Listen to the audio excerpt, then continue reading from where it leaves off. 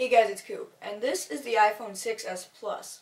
As of now, this is Apple's highest end smartphone. Now with the iPhone 7 coming out tomorrow and being predicted to cost anywhere from $800 to $900 for the lowest end versions, is the upgrade really worth it? Let's find out.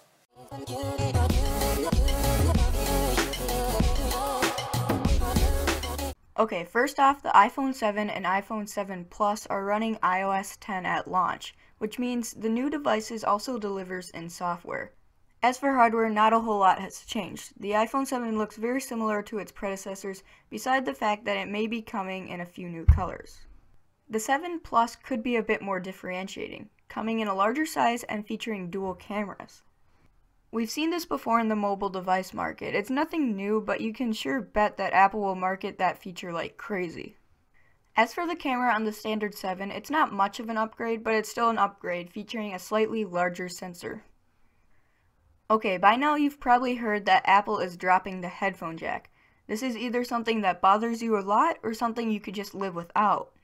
So what does the removal of the 3.5mm headphone jack mean for the iPhone 7? Well, hopefully there will be the inclusion of stereo speakers. Some other rumors include a waterproof design and larger battery, which both seem extremely needed and also a little late, but at least there's a possibility of us getting them now. The last major rumor we have is the pressure sensitive home button, like we've seen with 3D Touch. Sadly, the iPhone 7 and even 7 Plus aren't seeming astronomically different from the older generations, it also doesn't seem like Apple's brought any groundbreaking features that aren't already on the marketplace.